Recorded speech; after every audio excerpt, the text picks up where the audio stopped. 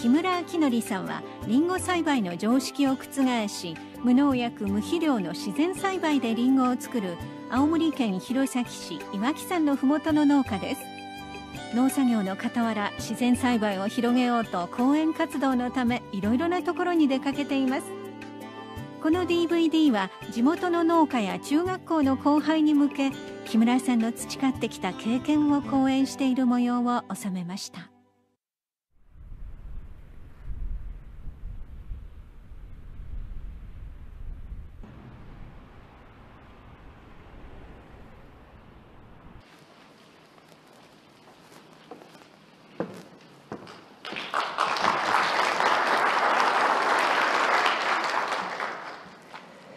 どうも皆さんにちは。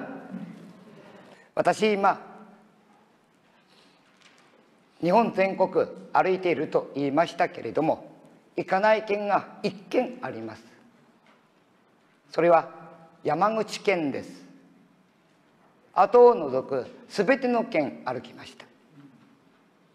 そして農業を変えよう農家の人たちが元気になろうよ。そのためには肥料農薬に頼らない農業をしていこうじゃないかと。そうやってあちこち村おこしをしてきました。ですから時によっては5年続けていってそしてある村では1万7,000人の人口のところに150万から200万もツアーが押し寄せるという町に変わったところもございます。それほど農業は魅力のある大都市の人たちにとってみると食べるものを作ってくれているところの場所。そこになんとかまんじゅうとかなんとかせんべいとかというお土産はないんです。そのツアーの人たちが持って帰っていくものはお土産はそこで採れた大根かぶ野菜なんです。今大都市では空前の農業ブームです。マンションあるいはお店の屋上そこでポットを使っての野菜作りをするのが一番ナウなファッションだと。そうなっているんです。ところが地方へ来るとあちこち捨てられた農地。これが田んぼであったのかという面影一つもない田んぼ。畑。なぜこうなったんでしょう？私この栽培を全国に教えに歩きながら大都市の人たちには食べるものを変えよう。そして身近なわずか一坪も大都市では数百万から一千万もするその土地。そこで畑をやりましょうなんて言えないんです。それでツーショップからポットを買ってきてあるいは大きなバケツを買ってきてそこで野菜をやってみようと。そうして消費者の人たちに野菜作りを教えてきました。7年過ぎました。そうしたところ今本屋さんで売れている本一番売れている本は農業雑誌なんです。それほど都市部では農業がすごく盛んなんです。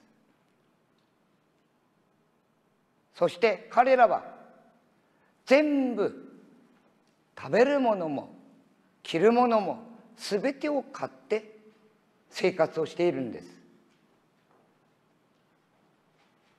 地方へ来ると食料はふんだんに手元にあってなぜビルが建っていかないんでしょう？すべてのものがここに準備されていながらなぜ所得が低いんでしょう？ぜひ考えていきませんか？ご存知の通り青森県はすごく恵まれた土地です。私のように全国を歩いているとこんないい県はありません。三方海に囲まれ海の幸山の幸全てが揃っている県なんです。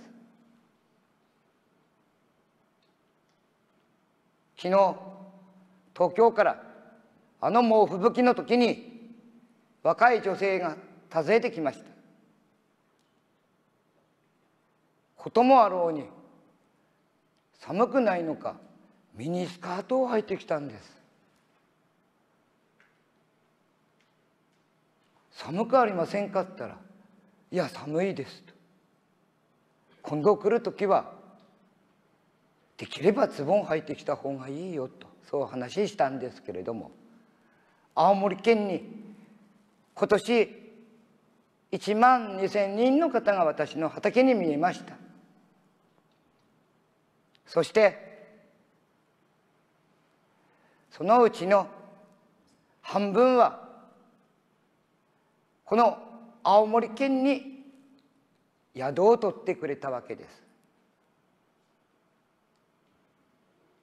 それほど金を使っていても食料の生産現場を見たいとそういう消費者がすごく多くなっているんです。ぜひこの青森県が特にここ五所川原中心とした。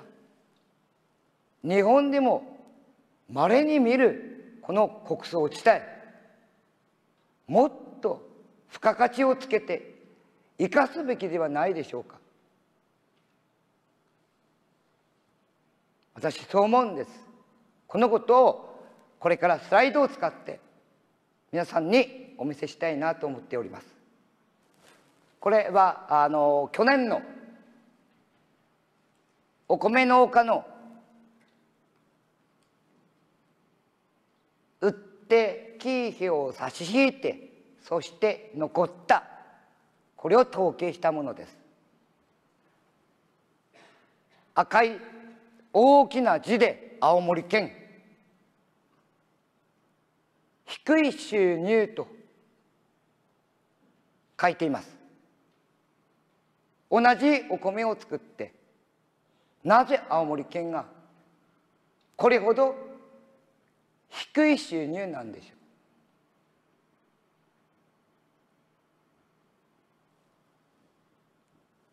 う？言葉を書いて言うと以前は北海道のお米がこの角祭ということで一番安かったんです。今北海道のお米はコシヒカリよりも売れているんです。この青森県なぜこれほど米の米農家の所得がどうして低いんでしょう？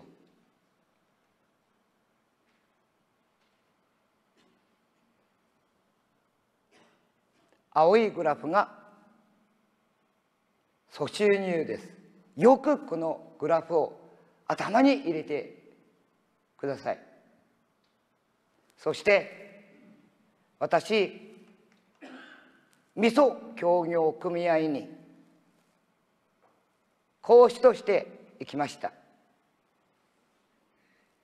消費者が求める味噌をぜひ作っていこうということで話し合ったんですけれどもそこに5台の日通のトラ大型トラックが止まっていました。そこの理事長さん何もそのことについて言いませんでした。そしてスピーチが終わって私が帰る時にそのトラックの荷物を話してくれたんです。そのトラックの荷物は何だったと思いますか？2日前に検査を取ったばっかりの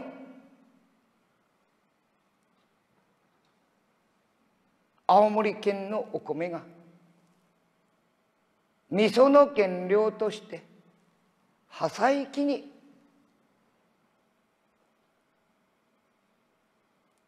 かけられる寸前であったわけですあの姿を見たら春から秋まで一生懸命米作りに精出してきたそのことを考えると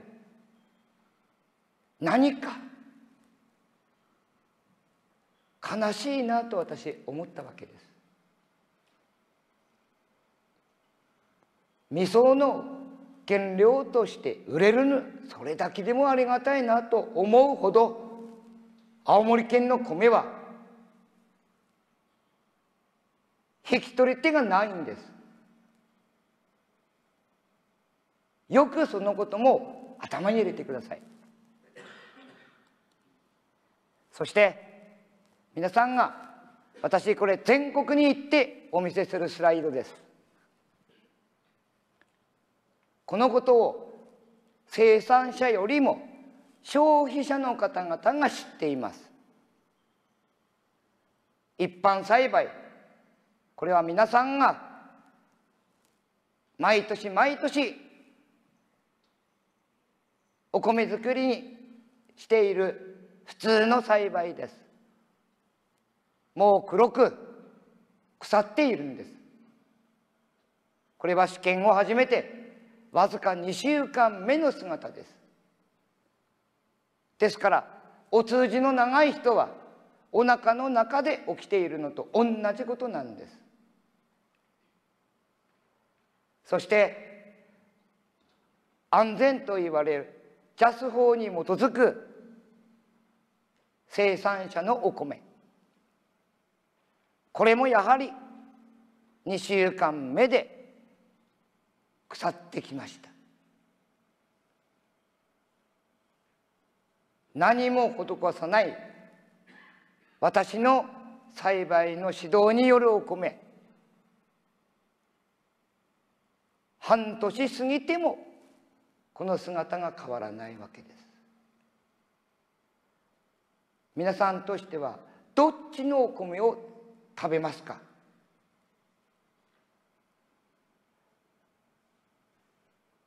これ都市部の消費者の人たちに見せましたらこんなものを食べてるんですか？と。そういう返事がほとんどでした。輸入米と同じじゃないの。とそういう声が多かったんです。そしてこれもまた全国にお見せしています。きゅうりです。なぜか安全と言われるはずのジャス法のきゅうりがわずか2週間で姿形もないほどドロドロに溶けて腐ってしまったんです。そして私の栽培によるきゅうりはこのままお米と同じ半年後漬物になりました。なぜか肥料農薬使っていると考えられていた。スーパーで売っていたきゅうり意外と原型が残っていたもんでスーパーに問い合わせし生産者を確認しました。そしたら生産者曰く肥料農薬除草剤使うとスーパーが仕入れないというので1年使っていませんと。そういう話でした。なぜ肥料農薬除草剤使うと腐るんでしょう？使わなければ腐らないんです。はい。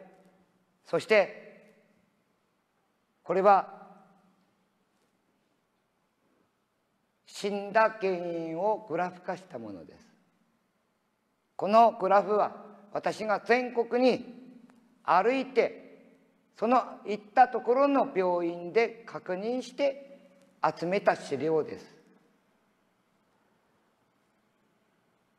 昭和30年代と比較してなぜこれほどがんの死亡率が多いんでしょう？厚生省の発表によりますと国民の3人に1人はがんであると。国民の6割化学過敏症である。さらに国民の6割以上が糖尿病の恐れある国民みんななぜこう病気を持つようになったんでしょう？私が思うにはさまざまな原因がいっぱいあると思います。しかし毎日食べている食これが大きく影響してるんじゃないのかなと私は思います。そしてこれは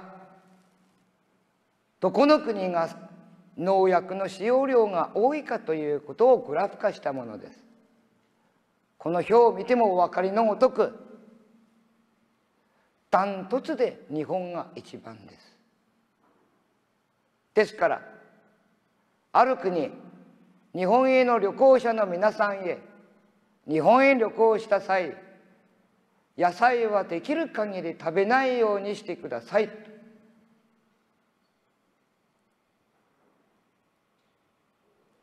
自分の体を害する恐れがあります。注意してください。日本へ旅行する時に渡されるパンフレットです。そして問題になっている中国。中国は確かに使用量は多いですがこの半分くらいは全部日本へ輸出向けなんです。そしてこのグラフにはリンゴとお茶に使われている農薬は中国の場合は入っていません。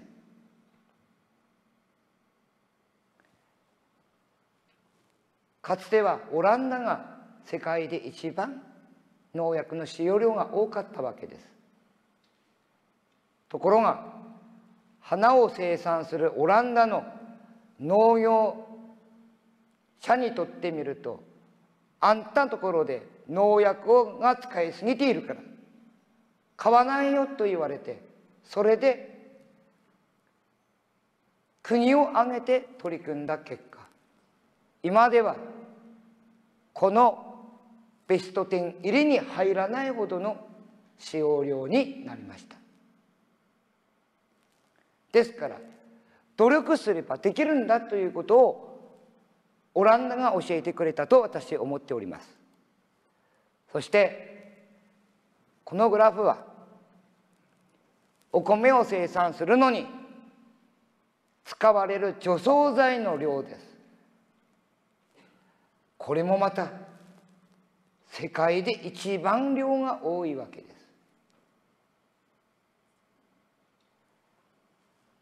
確かに除草剤は農家の人たちの重労働を解放してくれた立役者でもあります。でも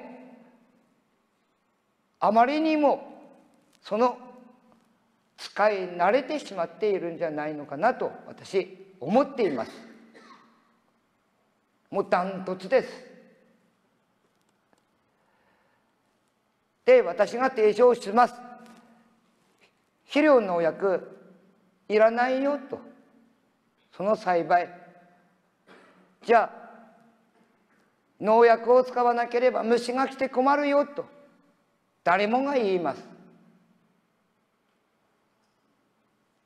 このグラフは農薬を使わなくて虫の被害がどれくらい起きるかということを表したものです。稲と書いております。減収率は3割以下なんです。さほど減収しないということが分かってきているわけです。まあグラフの高いところはあれはリンゴです。リンゴはやはり難しい。ですから稲は3割よりも研修しないんであれば売れないお米を作るよりも売れるお米をみんなが作ってもいけるんじゃないのかなと私は思うんです。そしてこれは私の栽培に転換した時の収量の変化です。前の年まで肥料農薬除草剤使っていた田んぼは前年度とほとんど変わらない収量を得ることができます。それは肥料分が残っているからです。2年目今度だんだん肥料分がなくなっていきます。収量が落ちてきます。3年目木村に騙されたと。やめようと考える頃です。ところが4年5年と続けているうちにだんだん終了がまた出ていくんです。ですから私の栽培をこの会場の中で皆さんでやりたいなと思う人はやはり少なくとも田んぼの場合は3年はかかるんだよということです。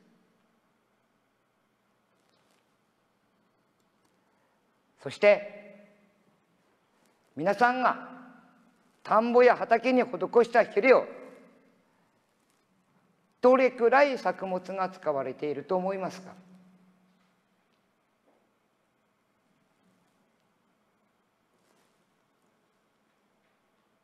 窒素を10キロ施して実際使われるのはわずか1キロか1.5キロなんです。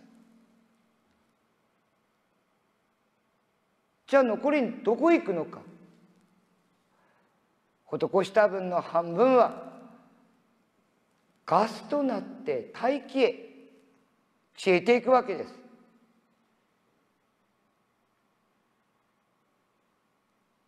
ですから肥料を施すと何でも取れるよ確かに取れます。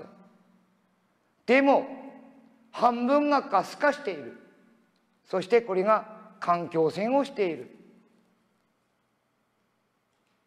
よく考えなければならないことです。そして今年8月の27日にアメリカの大気圏局がこのまま肥料農薬除草剤を使う農業を続けていくことは地球の破壊につながるよと発表したんです。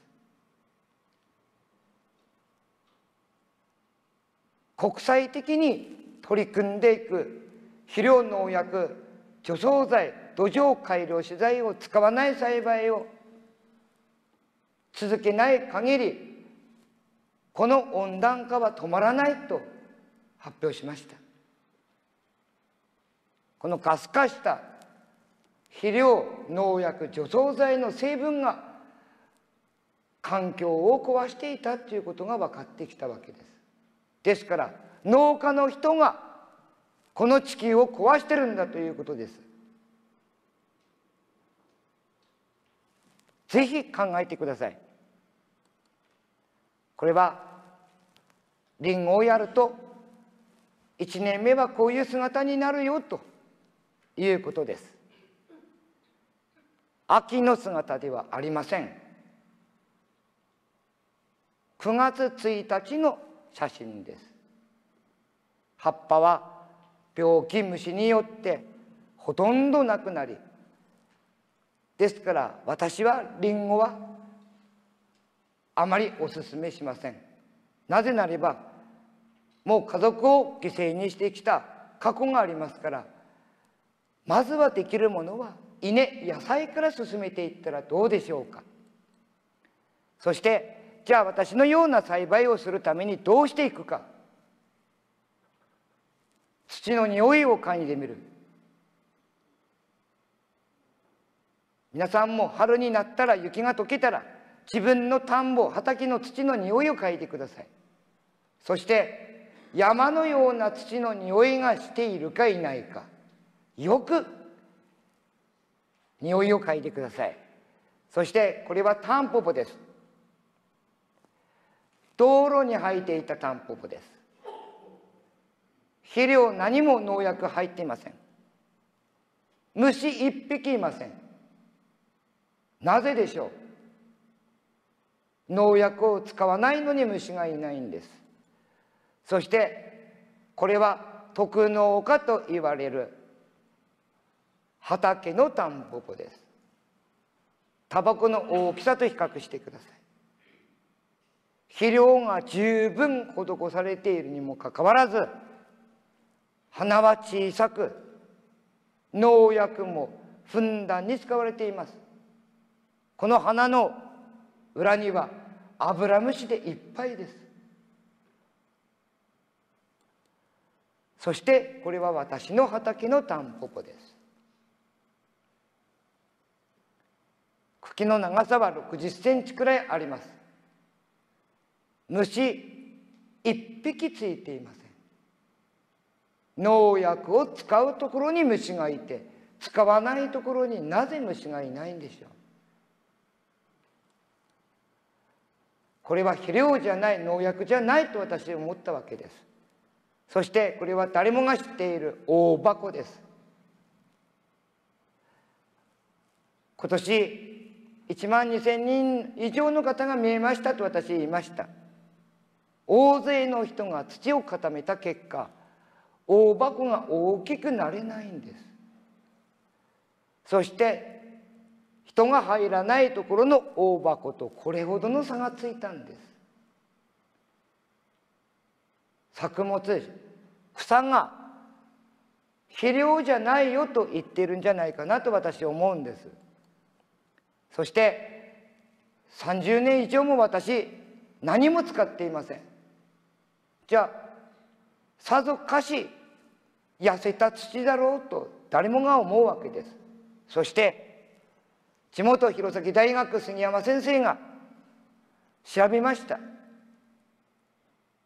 調べて分かったのは隣の畑周辺の畑あちこちの畑よりも3倍以上の窒素分があるということが分かったわけです。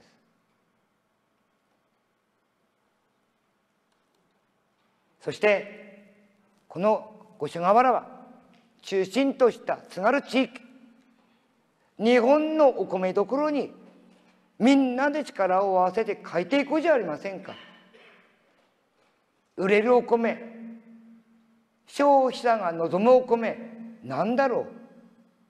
それは肥料農薬除草剤使わないお米なんです。今年福井県。県と JA がタイアップして来年から全面的に取り組んでいきたい。とお隣富山県。その隣石川県。新潟。みんなお米農家。コシヒカリで一時コシヒカリ5年が経つほどお米が売れたんです。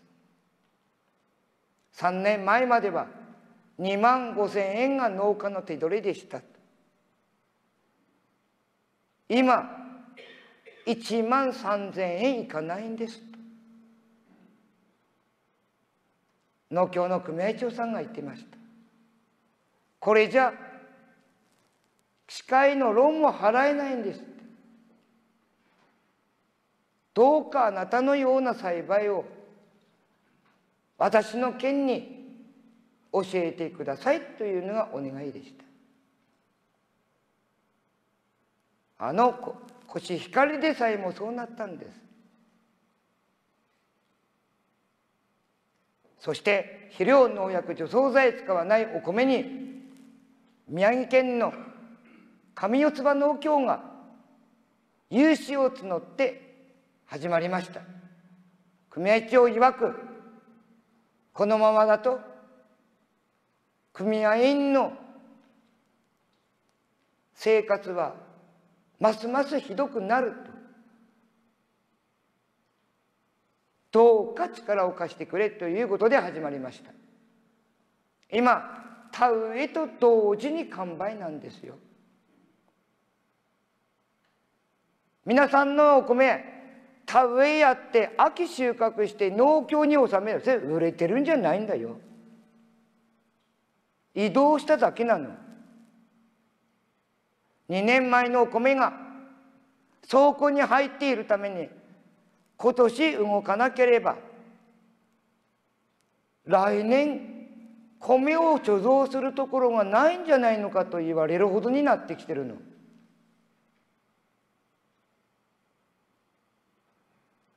それじゃあどうやって私のような栽培をするか。これは私りんごがなっていない時に毎日毎日虫取りをしました。家族総出で。そしてその傍ら野菜お米をやったわけです。ガラスのコップを利用して1年に6回試験しました。田んぼでやると1年に1回より結論出ないわけです。ですからガラスのコップを利用したわけですけれども。そしてその中で一番いいものをまた繰り返してやりました。そして当初3秒一旦部から3秒取れたか取れないかそんな田んぼが最後には9票も取れたんです。肥料を施しても10票取れるか取れないかです。いかに土を生かすか考えたんです。そしてこのスライドはよく乾燥した土を大きく荒く起こすと。これが大事なんです。丁寧に起こしてあああそこのお父さん随分仕事丁寧な人だねと。それは稲は決して喜んでいないんです。よく乾燥した土を起こすんです。山形県の今山形県大雪ですけれども一晩に1メートル降ったと私の知り合いから電話来ましてその電話よこした相手私の栽培をやっているわけです。8年になりました。そして平均して8.5票終了収穫していますけれどもある時におじいさんが入退院を繰り返してそして亡くなりました。その間隣の田んぼから田植えが終わってまだ田起こしをしていないところに水が入ってきたわけです。前の年の収量は8キロ以上です。隣の田んぼから入ってきた水があるために田起こし荒くり白かき一緒にやったわけです。終了は3秒もいかなかったんです。いかに田起こしが大事かということです。そしてその時よく乾いた土を耕すんですよということです。これちょっと小さいですけれども白柿です。白柿は皆さんは丁寧に練りあんを作っていますか？稲は決して喜んでいません。ゴロゴロの白柿を喜ぶんです。何か今までやってきたことがみんな逆みたいな感じですけれども逆なんです。荒く白かきをしてください。ちょうちの田植え機が壊れるよ爪が曲がるよとか。まあ農家の人たちは言いたい分のことを言います。でも秋になって懐に残るお金が多かったらいいんじゃないですか。私そう思うんです。そしてこれは実例です。あぜの。こちら側が肥料農薬除草剤を使っています。一方そちら側は自然栽培と書いてるのは何も使っていません。この時もうすでに隣の田んぼがあまりにもいい稲の生育がいいのに私の田んぼはまだ植えたのとほとんど変わらないこの時農家の人が胃潰瘍になるわけです。そして胃薬を飲む飲んだりあるいは隠れてこのままだとダメだと。奥さんと話し合って誰も見ていない時に肥料を施そうかとかそういう気持ちが湧く頃なんです。でもこの稲を抜いてみてください。一株抜くとどっちの根が大きいかよくわかります。肥料を施している稲は小さいんです。施さない何も施さない稲は倍以上の根を持っています。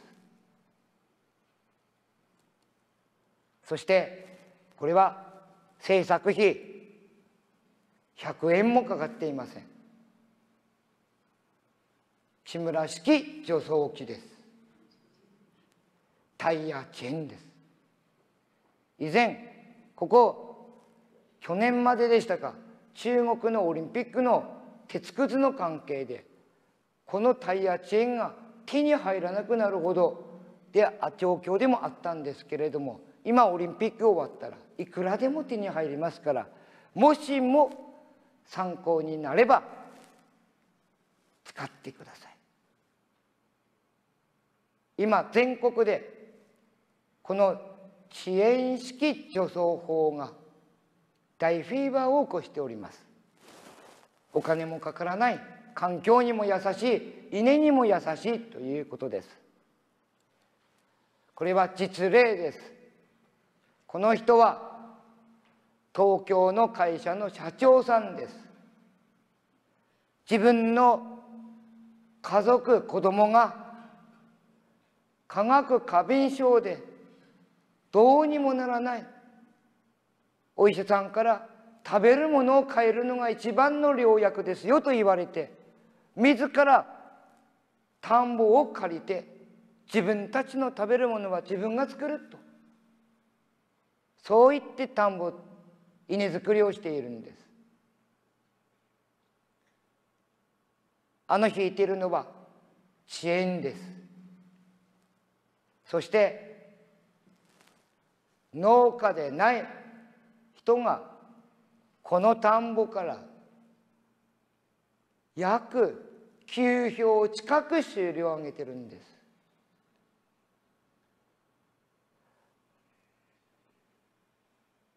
太平洋の水がたまに入るところです。そんな悪いところですよ。そして歩いた結果一回行ってきたらこれくらいの助走をしていたというスライドです。そしてそちら側はにいる男の人の足が2人分見えています。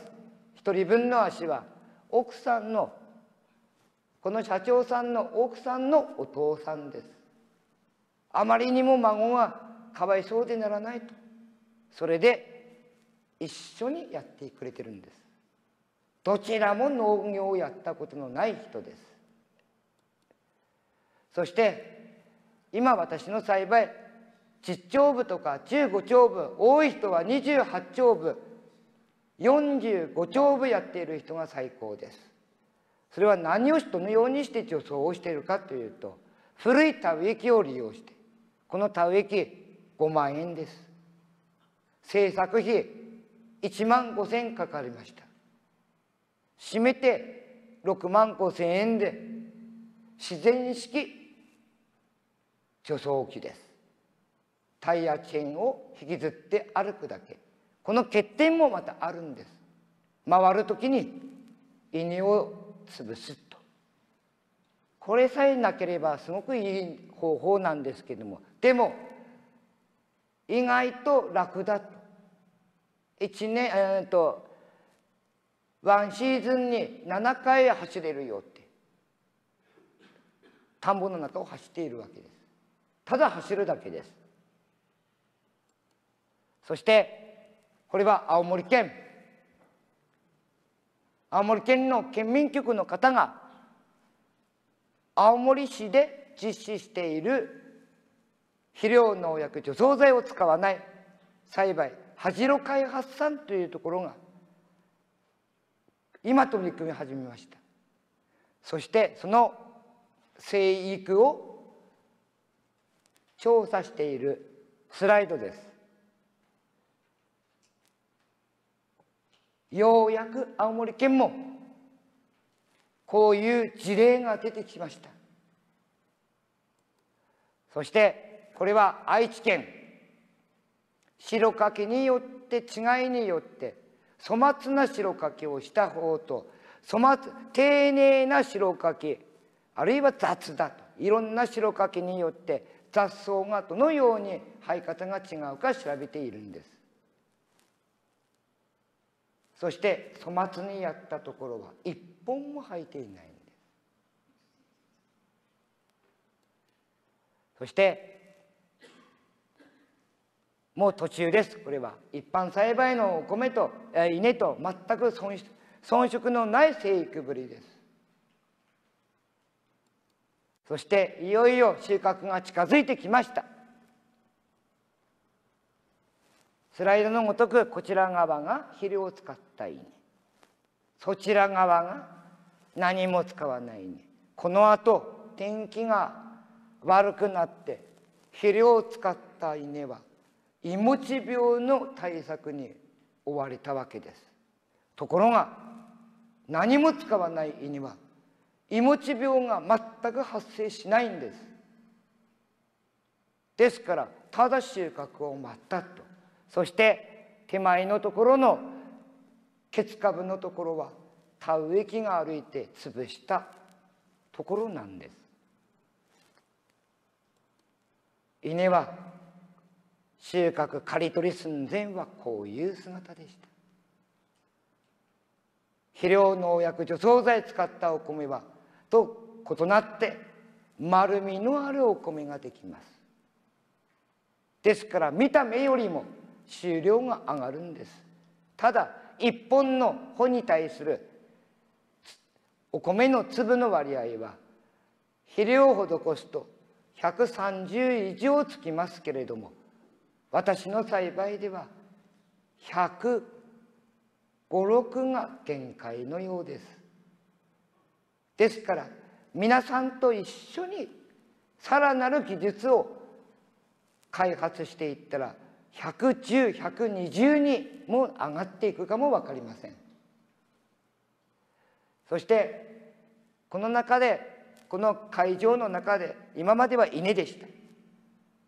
会場の中で畑もやっているよという方がおられるんじゃないかなと思ってこの畑のこともお話しさせていただきます。私のような栽培をする人は必ずやってもらいたいことがあるんです。田んぼはやる必要ありません。畑の場合は必ずやってください。それは穴を掘って10センチごとに温度を測ってください。必ずやってください。そして今デジタル温度計がすごく安いのでそれを利用すると割と正確な温度が測れます。これは海外ヨーロッパへ行っても同じことをさせています。これはドイツの温度を測りました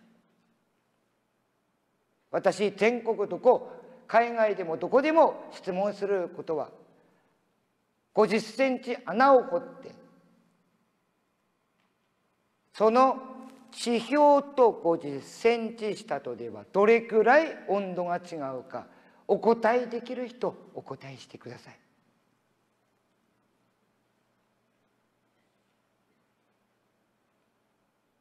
山の土を50センチ掘りました。穴掘りました。地表と50センチ底何度くらい温度の違いあるでしょう？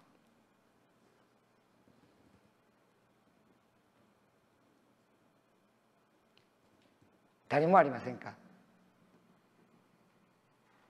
違いは一度あるかないかなんです。ところが畑を測ると一番違いが出てくるんです。ドイツオーガニックとしては世界の中心となって環境に優しい農業をやっております。ですから世界の基準になっています。そこで私が見たものはピンポン玉と同じくらいのじゃがいもを収穫していたわけです。そして彼ら言いました。この栽培をやってきたらじゃがいもはこれが限界です。私違うって言いました。あなた方は間違っているよと。そしたら彼らすごく損害しましたけれども穴を掘って温度を見たわけです。赤いのが私の畑です。ネズミ色がドイツの80年オーガニック肥料農薬除草剤堆肥を使わない畑の土です。もうわずか10センチ8度以上の温度差があるわけです。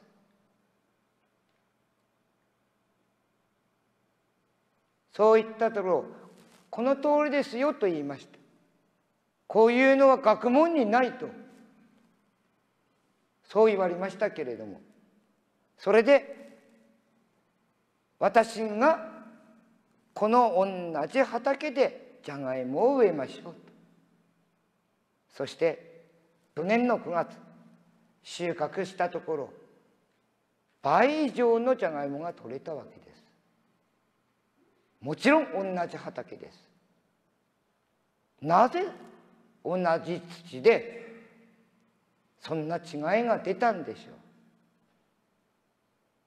温度を測っているから。作物野菜だって冷たいところは嫌なのよ。皆さんがそうでしょう。この冬に冷たい金属なんかに手を触れたくないでしょ。う作物も同じだの。私は10センチのところに10センチまでのところに温度がさほど変化のないところに芋を植えたんです。彼らは15センチのところに機械で芋を植えていくんです。ドイツへ行かれた方はあると思うのであの巨大なタイヤショベル以上の大きいトラクターを見た時化け物かなと思いました。これ何馬力あるんですか？えこれは中クラスで400馬力ですと。とても日本の道路なんて走れるもんじゃありません。化け物です。そんな機械が土を固めてしまったわけです。ですから大きい機械は能率が上がるけれども果たしてそれだけだろうかなと思いました。今ドイツで私の栽培がすごく普及しております。穴を掘って温度を見てそこに作物を植えていくという方法です。はいなぜこれをしたかというとこれ土の中です。土の中は見ることができません。ですから穴を掘ってみたんです。これは一般的に日本の標準の畑です。機械それから肥料農薬除草剤で硬い層ができてしまっているんです。田んぼは壊しちゃダメなんだよ。田んぼを壊すとザルタになるんです。ですからこれは畑です。これを見た人が田んぼにもやった人がありまして毎日かけ流ししないと水がたまらないよという田んぼができてしまって2年泣いた生産者があります。これは畑ですよ。硬い層を壊さないといけないんです。機械で壊すところが機械だと入れないところもあります。そして決まった深さでこの帯ができていないんです。ですから何かを使わないと壊すことはできないんです。そして去年東北大学の農学部がこの硬い層の下を使われていない養分がいっぱいあるんだと。そして仮については4,000年も何も施す必要がないほど溜まっている。それが日本の畑だとそう発表しました。ですからよく考えて不可能じゃないということを覚えてください。そしてその硬い層を壊すのには何を使うか。これは先ほどの岩手県遠野市のりんご畑の一例です。スプレーヤーが入走って歩いて固めたところを麦で壊しているんです。麦を植えています。そしてりんごの木の周りにはマメ科の植物を植えています。この畑ではカラスのエンドウを使いました。昔はどこにでも生えていたカラスのエンドウです。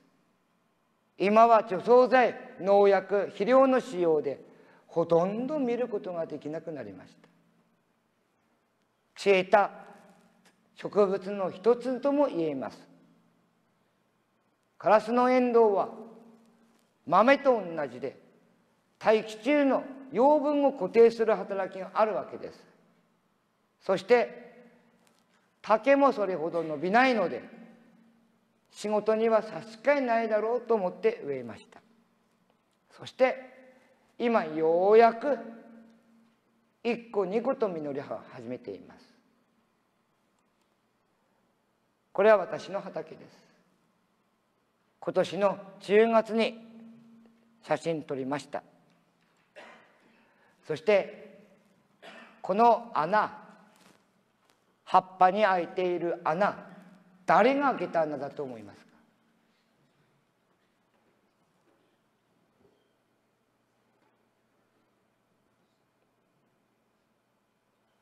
虫じゃないんです。この穴自分の病気を自らを落として治療した穴なんです。嘘だろうとこれまた弘前大学が調査しました。そして実際今年葉っぱに金を塗って調べたわけです。そうしたら同じように治療して落としたわけです。肥料農薬を使っているりんご畑では間違ってもありませんでした。300, え300枚試験しています。全てが同じ結果でした。ですから人も同じじゃないかなと思う。わずかの病気ぐらいは自分の体が治療していくんじゃないのかなと思うんです。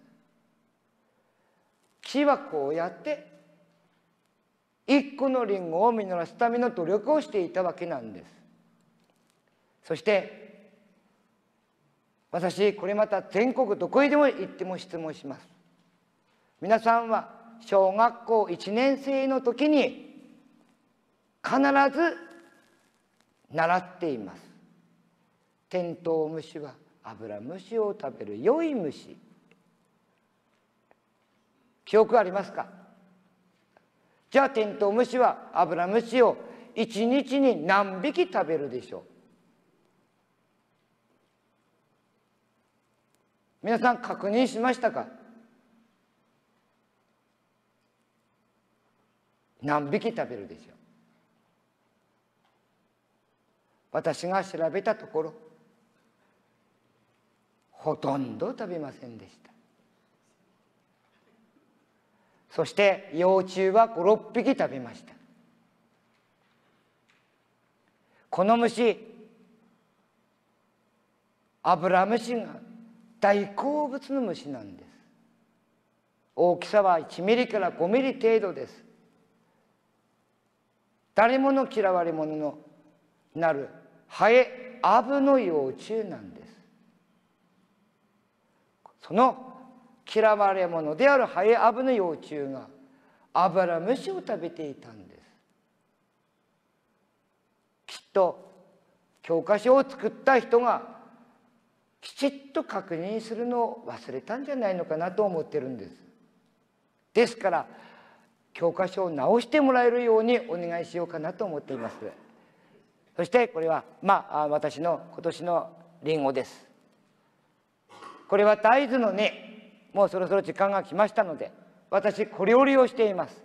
そしてこのように麦を植え大豆を植えその間に作物を植えるという方法をとっております。なぜ麦を植えるか。先ほどのあの硬い層を壊すと同時に肥料農薬除草剤を吸収してもらうんです。そしてこういう姿になりました。一方これはトマトです。トマトの横に大豆を植えています。そしてこのトマトは横に植えているんです。もしもよかったら来年の春試してみてください。このトマト何メートル伸びたと思いますか？10メートル伸びてるんです。その姿です。病気虫一匹いないんです。不思議です。肥料農薬使わないから虫病気いないんです。はいこれはトウモロコシです。トウモロコシの間に大豆を植えてそしてトウモロコシを育てていく。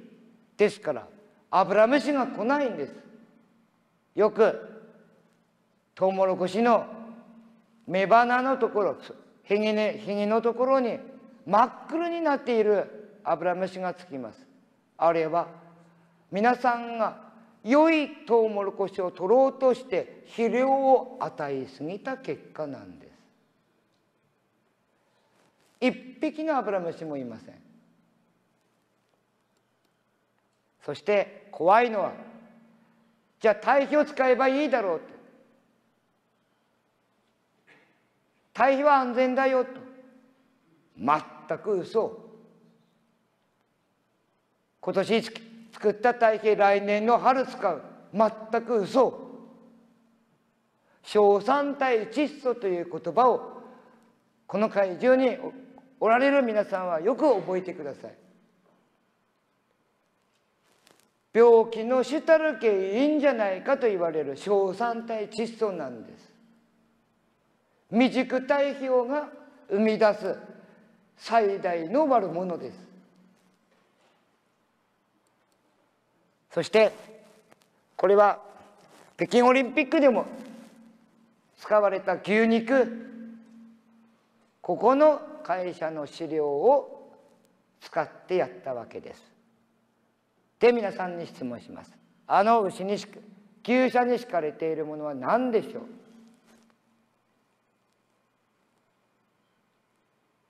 何だと思いますか？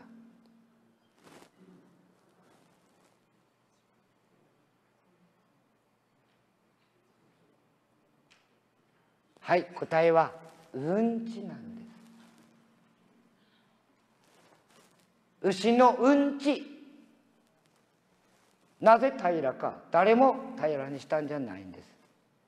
牛が横になって這い張って移動しているうちに平らになったんです。そして注目してもらいたいのはハエの卵がないんです。臭くないんです。そばへ行って初めて牛舎かと思うんです。臭くないから。周辺から苦情も来ないんです。そしてこれ試験テストケースなんですけれども1年4か月うんちを出さないでみました。そうしたら35センチ溜まっていました。全く臭くありません。はい一匹いません。食べるものを変えると牛のうんちも変わったんです。そしてこれで完熟じゃないんですよ。これをさらに3年切り返ししてから畑へ使うんです。秋作って春使うんじゃないんです。そしてこれは皆さんもご存知の通り時は養鶏さんの堆肥小屋です。匂いを嗅いでいるのは組合長さんです。そして私が写真撮ったんですけれどもそばへ行って私も見ました。全く匂いがないんです。ですから完熟した堆肥を使えば虫を呼ばないしさらには安全な食を取ることができるんです。昔今から20年前にアメリカヨーロッパで1歳くらいの赤ちゃんがどんどんどんどん死んでいったんです。なぜ死んだ？離乳食を食べてから死んだんです。これは本にもなっていますけれども離乳食に含まれていた小酸体窒素未分解の有機物この堆肥から出るその悪者が赤ちゃんを殺していったわけです。その症状は顔が紫になってまるでカニのように口から泡を吹く症状で死んでいくわけです。ですから堆肥は必ず完熟してから使ってください。完熟しないものは堆肥じゃなくて休肥というんです。腐ると腐るごと腐敗という。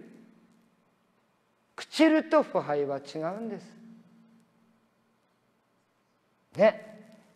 冷蔵庫の中にスーパーから買ってきたきのこを入れるとカビが生えて忘れていて後で気が付いてみるとカビが生えています。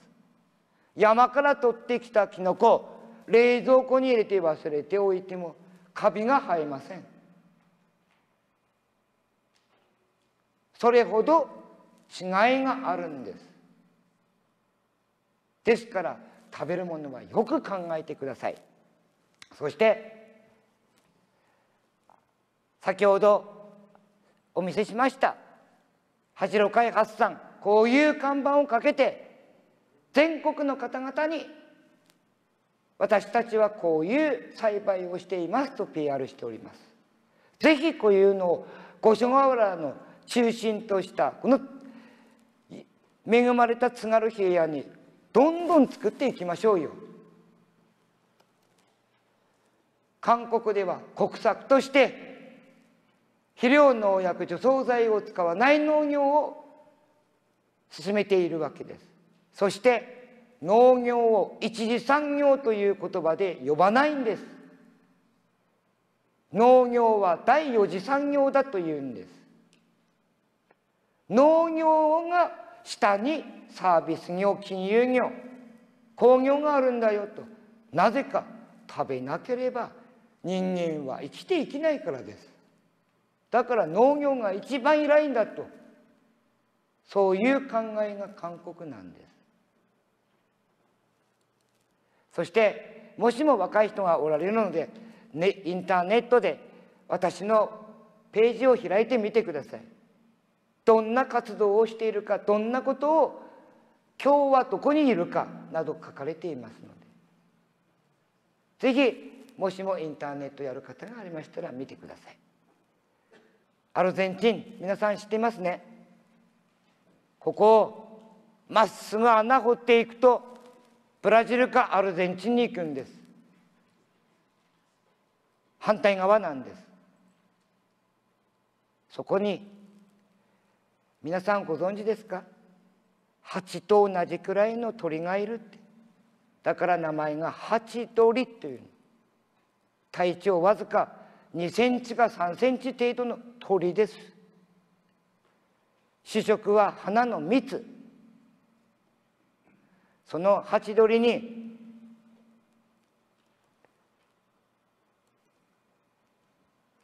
中心とした昔話があるわけです。山火事が起きた時その2センチ3センチのハチドリが一生懸命水を運んだと。そして逃げていったいろんな動物たちが笑った。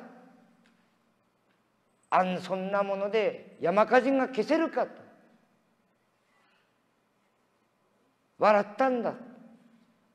ところがハチドリは何て答えたと思いますか。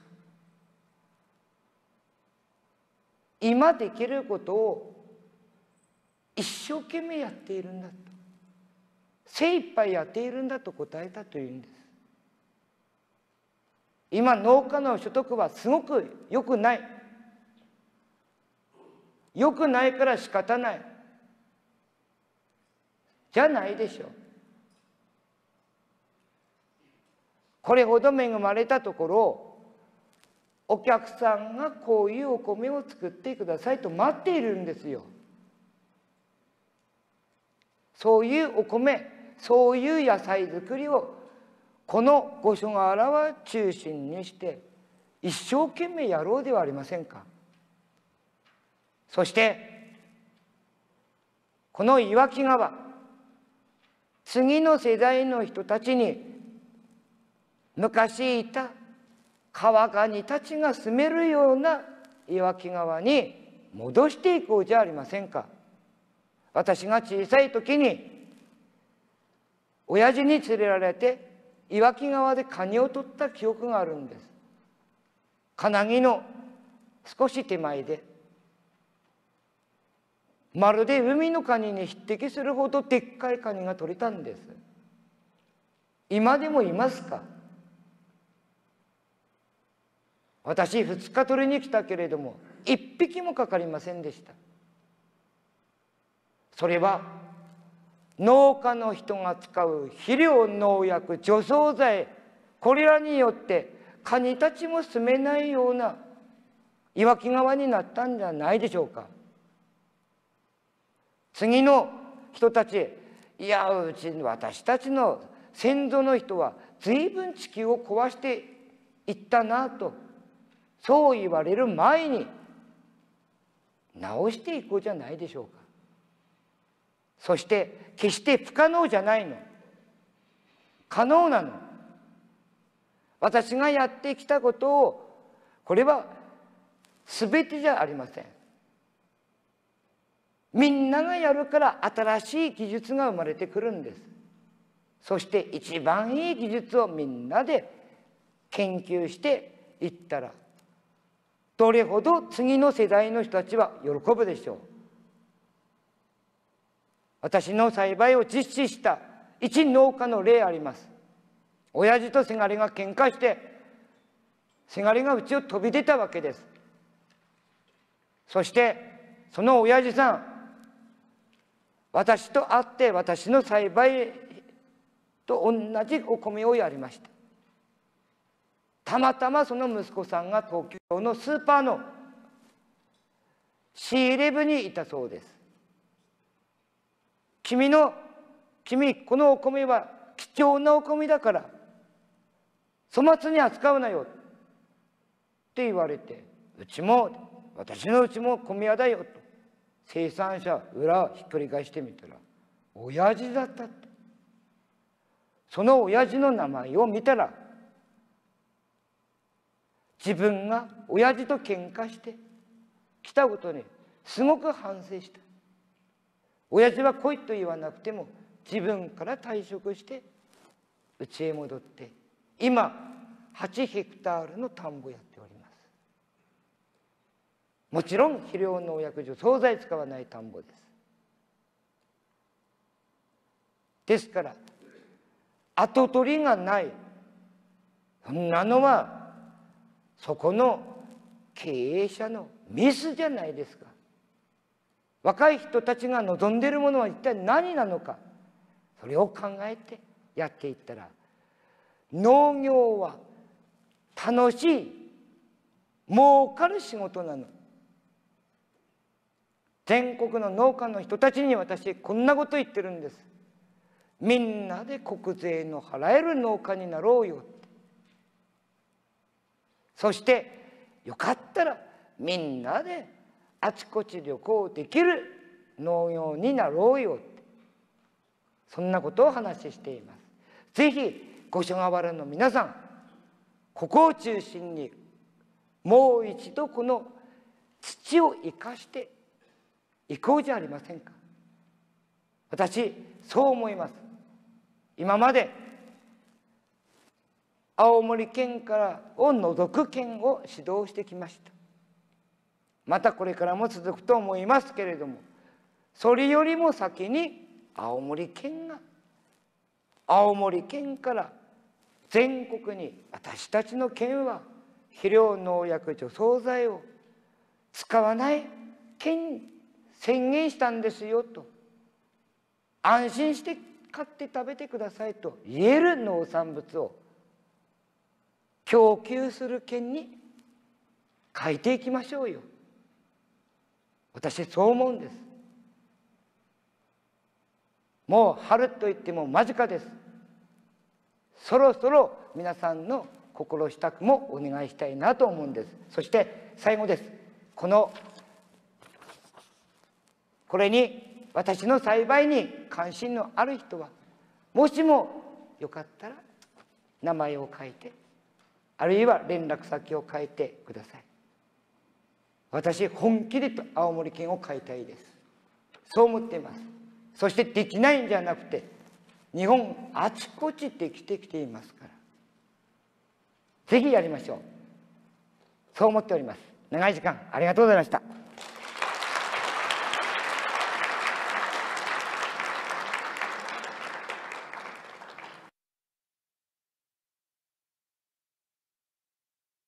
えーと、今年のりんごの収穫は2丁6単部から1800ちょっと収穫しました。木箱です。そして巣はいつもは8回散布します。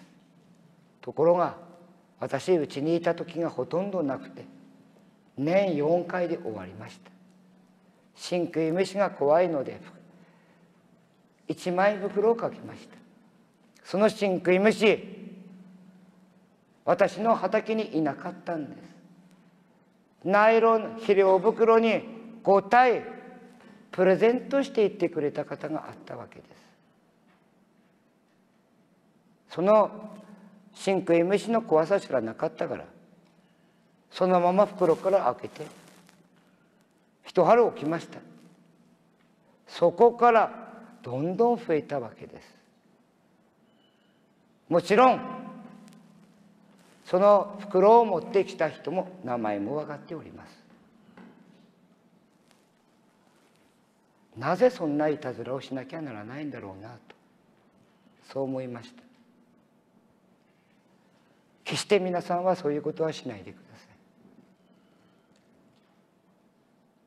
津軽の足引っ張りという言葉あります。私はそんなことして足引っ張ってプラスなこと決してないんじゃないかなと。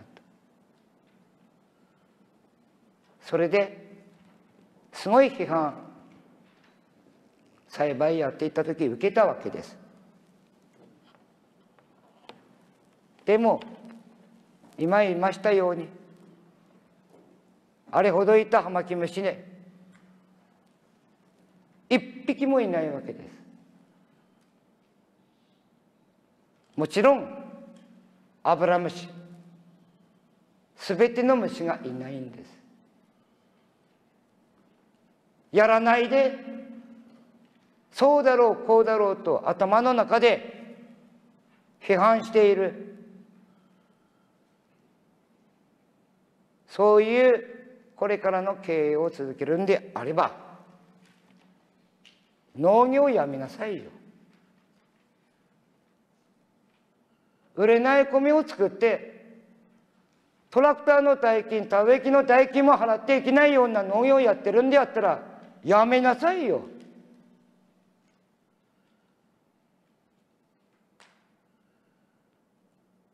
私福井県の行ってそんな話したんです。皆さんやめなさいよって。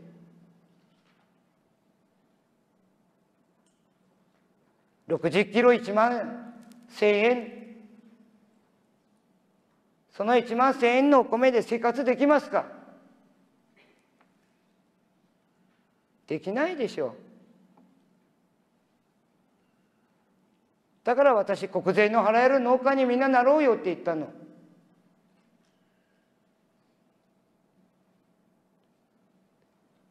やはり私これでも経理マンです。税理士を目指した男ですから。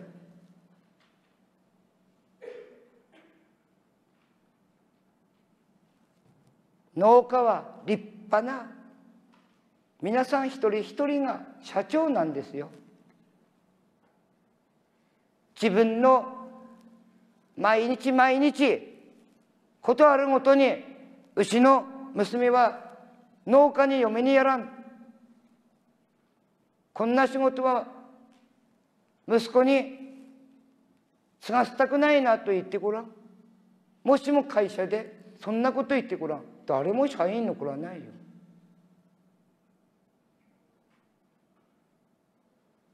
できるなら息子次の世代の人たちが喜んでやれる百姓。それが夢じゃないでしょうか。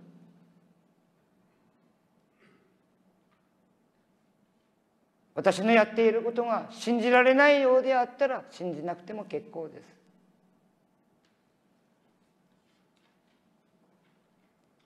すぜひ皆さんのことを考えると他県でどんどんどんどん普及していくのにまた青森県が後を追いかけてくるようだったらやはり結果同じになるんです。りんごも青森県の人たちがそんなことをしている間に北海道の目室町でもうすでに6年目にして実り始めました。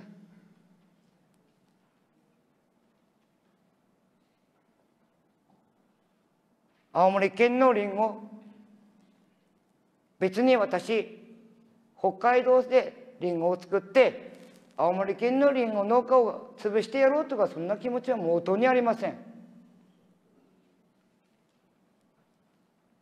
できないできないと言ってきたりんごがもう北海道で実っているんです。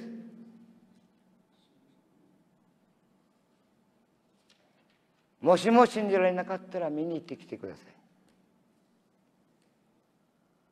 それは苗木からやりました。ちょうど6年かかりました。私が今質問あったことと同じことをやってきたわけです。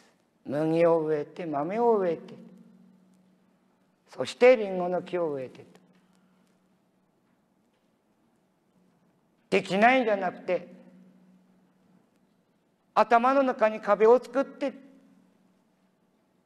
できないという言葉を作っているのが今の農家の人じゃないでしょうか。やらないだけなの。